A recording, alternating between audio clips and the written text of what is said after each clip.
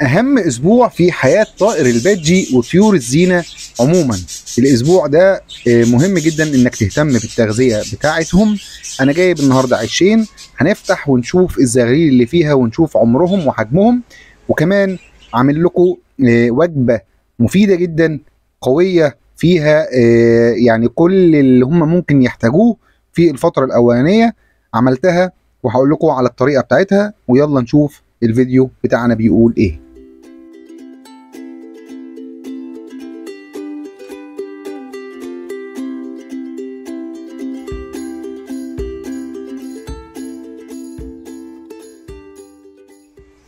السلام عليكم ورحمة الله وبركاته. ازيكم جميعا؟ يا رب تكونوا بخير. دي الحلقة رقم تسعة من سلسلة تجهيزات الموسم الجديد.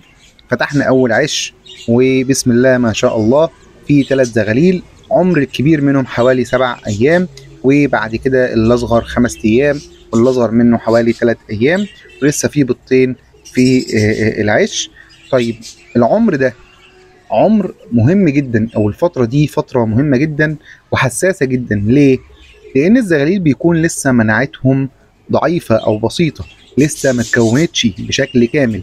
بتتكون كل ما بيقابلوا نوع من أنواع التهديدات زي ال- الأكل اللي بياكلوه لو في أي مكون آه، صعب عليهم أو عندهم مشكلة منه أو الجهاز الهضمي ما يقدرش إن هو يتعامل معاه بسهولة. آه، نفس النظام آه، لو قابلوا آه، أي ميكروبات أو فيروسات ال- ال- الحشرات اللي اللي ممكن تتكون.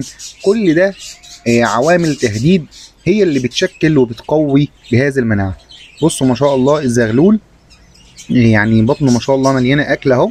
وأنا في الفترة دي لغاية عمر السبع أيام ده أنا ما دخلت لهمش أكل تاني غير الحبوب. مدخل مع الحبوب حاجات تانية برضو نواشف ممكن آه، تساعد زي آه، الدخن زي بذور الطاقة. آه، في ناس بتجيب اللي هي البذور اللي متلخبطة على بعضها. أنا مش بستعملهم بشكل دوري يعني. أنا ممكن أستخدمهم لو عندي في توقيت زي دوت. بذور ال- الجرجير بقى وبذور اللفت وال- والمجموعة دي أو اللي موجودة عندك منهم. المهم إنك تستخدم نواشف في الفترة دي تبعد عن المية في أول سبعة أيام. تبعد عن الحاجات الأكل الطري أو الأكل اللي ممكن يحصل له تعفن آه، بسهولة أو آه، تنمو فيه بكتيريا أو فطريات. ليه؟ عشان خاطر إحنا قلنا إن المناعة بتاعتهم بتكون ضعيفة. طيب أنا عارف إن أنا بقول الكلام ده وفي ناس أصحاب مدرسة البيض بالبقسماط أول ما الزغاليل تفقس ادي بيض بالبقسماط.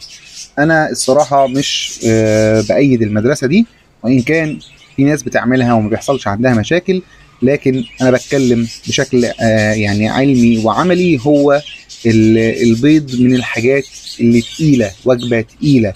هل كل الزغاليل أو كل الصغيرين هيقدروا آه، إن هم يستحملوها ولا لأ؟ بالإضافة إن البيض من أسرع ال- الوجبات اللي بتفسد بسرعة. طبعا لما بتفسد بسرعة بيتكون حاجات ومكونات ضارة جدا على البني آدم فما بالك الطيور. طيب يعني الفترة دي محتاجة مننا إيه؟ محتاجة مننا إن إحنا نأكل الأكل الطبيعي ولكن هنزود نسبة البلكم والفلارس عشان خاطر يكون فيهم غذاء إحنا ممكن الفترة دي أصلا ت- يعني تشيل الجنيبة خالص من من الخلطة أو تقللها يعني لأقل كمية ليه؟ لأن أنت مش محتاج آه، تدي إحساس شبع بدون آه، فايدة أو بدون قيمة الدنيبه من أقل المكونات في الخلطة بتاعت الحبوب آه، فايدة. فايدتها الأساسية في الشبع. فأنت عايز تدي قيمة غذائية آه، من غير ما تدي شبع على الفاضي. فهندي بلكم وفلارس بكميات أكبر وهندي الدخن وبذور طاقة أي حاجات نواشف معودهم إن هم ياكلوها وهتكون ساعتها مفيدة جدا. محتاج كمان إنك تبعد عن قصة الطيارات بقى وفتح طيارات الهواء وفتح العشوش باستمرار عشان خاطر برضو بتكون مناعتهم ضعيفة ضد البرد وضد إيه؟ إن هم ياخدوا دور برد كده مش م... و- ويخلي يعني مناعتهم تضعف وممكن ما يقدرش إن هم يقاوموا أصلا الدور دوت وهم صغيرين. فبلاش تفتح ال- البياضة بكل كل شوية عشان أنت تتفرج عليهم أو تبص عليهم لأن ده كمان بدوره ممكن يخوف الأنثى وممكن آه، يخليها ما تأكلش الزغاليل فافتح للاطمئنان وتكون الأنثى بره العش وخلاص. ويلا بينا ندخل على النص التاني من الفيديو وهو الوجبة اللي أنا عملتها لهم بعد ما الزغاليل عدت اليوم السابع. طبعا مش شرط اليوم السابع أنا بكلمك يعني في المتوسط يومين زيادة يوم أقل مفيش مشكلة. يعني أنا بالنسبة لي بحب إن أنا يكون كمان بعد اليوم السابع ممكن يعني في اليوم العاشر أبتدي أقدم الوجبات ديت عشان كمان الزغلول الصغير يكون عدى عليه مدة كبيرة. الوجبة ديت فيها حاجات كتير جدا فيها زي ما أنتم شايفين شبت وبقدونس فيها جزر مبشور فيها كوسة مبشورة فيها كمان حلبة مستنبتة. يعني تقريبا كل المكونات اللي ممكن يحتاجوها فيها كمان بصل أخضر بس قليل لأنه عندي الطيور ما بيحبوش يعني مش بيقبلوا عليه بس بحط في النص كده عشان الفايدة بتاعته. وعاصر على الخليط ده كله نص ليمونة. ف يعني حاجة مفيدة جدا وفيها كل تشكيلة كده. وكمان مقطع فيها فلفل رومي القلوب بتاعت الفلفل الرومي. طيب ده شكل الحباية بتاعت الحلبة المستنبتة. بقدمها لوحدها بقدمها في وسط حاجات تانية. شوف ما شاء الله يعني الاستنبات فيها كويس جدا. ده بقى الجزء التاني من الأكل اللي هو حبوب الغلة أو حبوب القمح ايا من كان بيسموها إزاي. البليلة بتاعت اللبن شوفوا بتسموها فين بتسموها إزاي في المنطقة اللي أنتوا موجودين فيها. بسلقها لا إما نص سلقة أو بنقعها يومين مثلا أو يوم ونص. أنا عايز ال ال ال ال يعني الوسط ده مش عايز ولا ناشفة قوي ولا طرية قوي.